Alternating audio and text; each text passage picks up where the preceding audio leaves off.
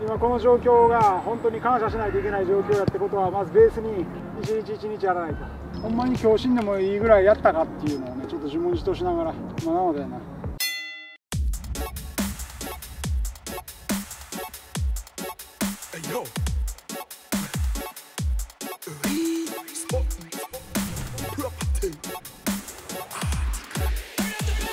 だからまあいろんなことを自由に話してったらいいんですよね、don't know. This is lion with a burning.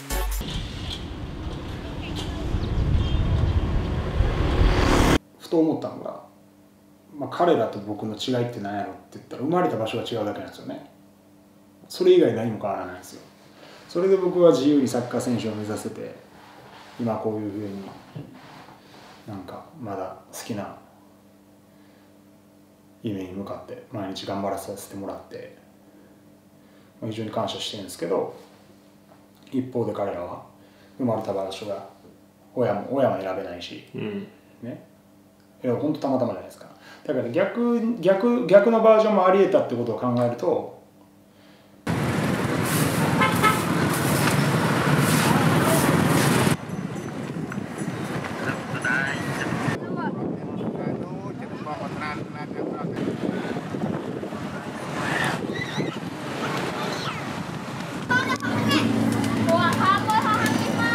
彼らは助けてって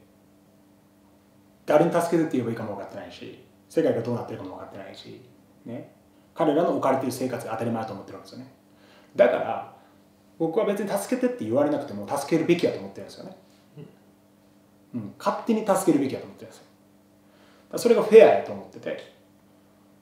多分逆の立場やったら誰かがそうしてくれたやろうって信じたいしその信じたいことをしてるだけなんですけど。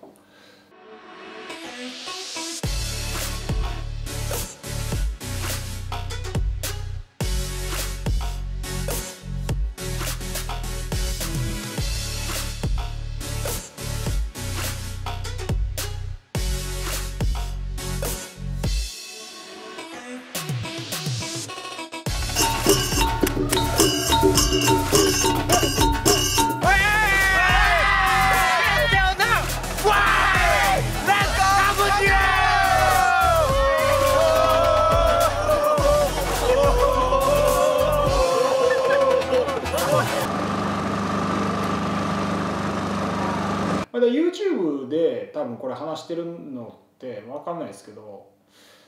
なんかまあこれ見た人が別になんかまた本田がなんか真面目に語ってるよって思ってくれながらもまあでも確かにそういう人たちのためになんか一歩でもややれるんやったらやってみようかなみたいなことを考えるきっかけになればいいなぐらいのつもりで僕はここで話してるんで、うん、だからまあ多分これ見てもなんだかんだで8割から9割ぐらいの人は動かないと思うんですよね、うん、でも1割から2割の人は行動に移す人だと思うんですよ。でもそれできたら1割2割行動に移せる影響をここれで与えられたら僕はここで時間を使ったあの意味があると思うし十分あの満足ですけどね。うんうんうん。うん